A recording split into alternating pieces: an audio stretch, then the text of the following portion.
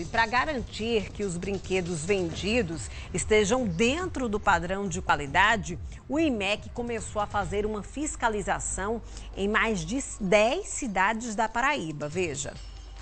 A fiscalização foi intensificada em estabelecimentos que trabalham com brinquedos e produtos para crianças, já que a comercialização destes produtos cresce nesta época do ano por causa do Dia das Crianças. A fiscalização é feita pelo IMEC, Instituto de Metrologia e Qualidade Industrial da Paraíba, ligada ao Imetro. Sabemos que o Dia da Criança está chegando, que é o dia 12 de outubro, então o Imetro, a nível nacional, está fazendo essa fiscalização, intensificando esse nosso trabalho para que a gente possa dar essa segurança maior ao consumidor paraibano como um todo. Além de João Pessoa, outros 10 municípios também irão passar por fiscalizações.